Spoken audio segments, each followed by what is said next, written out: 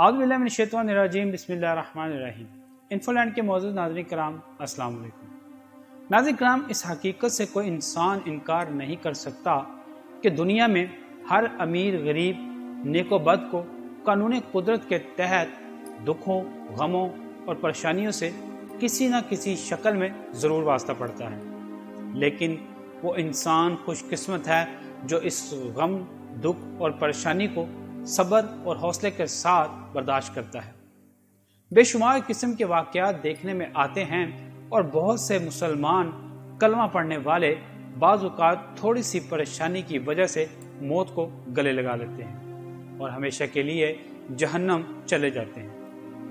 آپ جانتے ہیں کہ خودکشی حرام موت ہے یعنی دنیا و آخرت دونوں تباہ۔ میرے بھائیوں اور قابل احترام بہنوں، یہ دنیا مصیبتوں پریشانیوں اور غموں کا گھر ہے۔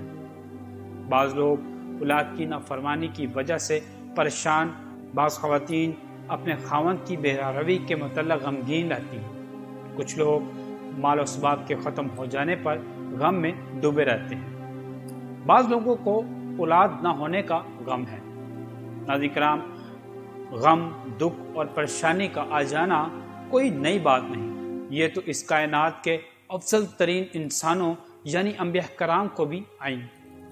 لیکن انہوں نے صبر سے تمام مشکلات کو برداشت کیا اور اعلیٰ مثالیں قائم کی ناظرین کرام، آج کی اس ویڈیو میں ہم آپ کو ایک ایسی دعا کے بارے میں بتانے جا رہے ہیں جو حضرت جبرائیل علیہ السلام نے حضور صلی اللہ علیہ وسلم کو سکھائی۔ میں آپ سے گزارش کروں گا کہ آپ اس ویڈیو کو آخر تک ضرور دیکھیے گا۔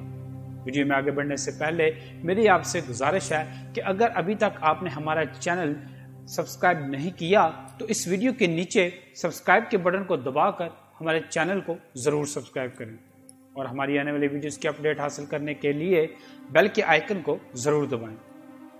ناظرین کرام، اب آپ کو بتاتے ہیں اس دعا کے بارے میں جو حضرت جبرائیل علیہ السلام نے حضور صلی اللہ علیہ وسلم کو سکھائی۔ نند کرم حضرت ابو حرارہ رضی اللہ تعالی عنہ فرماتے ہیں کہ نبی پاک صلی اللہ علیہ وسلم نے فرمایا، جب بھی ہمیں کوئی مصیبت پیش آتی تو جبرائیل علیہ السلام تشریف لاتے اور فرماتے، یہ دعا پڑھو۔ وہ دعا کون سی ہے؟ وہ دعا جو ہے، وہ آپ کی اسکرین کے اوپر آ رہی ہوگی۔ وہاں سے آپ اس دعا کو پڑھ سکتے ہیں اور زبانی یاد کر سکتے ہیں۔ جس کا ترجمہ ہے کہ بھروسہ کیا میں نے اس ذات پر جو زندہ ہے، جو مرے گی نہیں۔ جس نے نہیں بنایا بیٹا، نہ اس کا کوئی سلطنت میں شریک ہے، نہ کوئی ذات میں مددگار ہے۔